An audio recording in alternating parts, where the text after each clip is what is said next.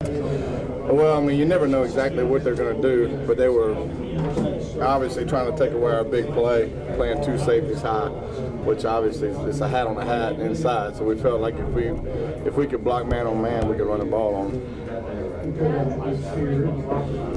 How about the way you committed to the run early in the week?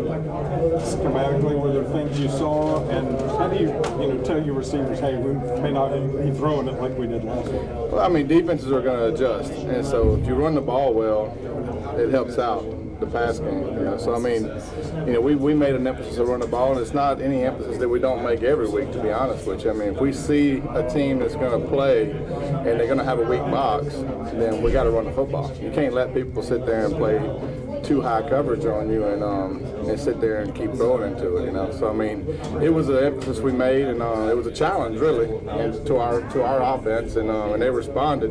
And uh, and when when they came down and took it away, then we made some opportunities on the outside.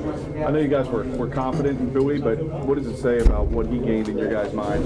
20 some carries and 200 yards, 200 some yards rushing. You know, I mean, we all think Buie's a good player. He's young, and so the more the more times we hand the ball to him, he just gets better and better. And um, the biggest thing, in my opinion, is that last drive.